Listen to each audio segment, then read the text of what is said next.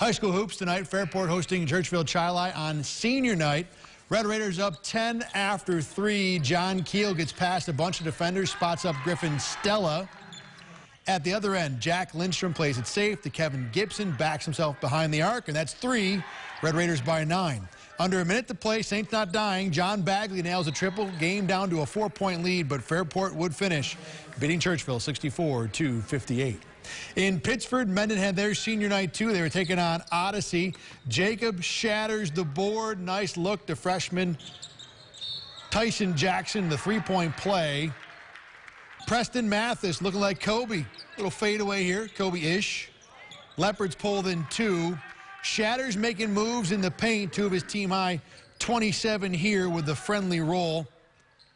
A little later, Caleb Arena finds Kyle Hennessy for the corner three. Mendon gets a W for their seniors, 75-61.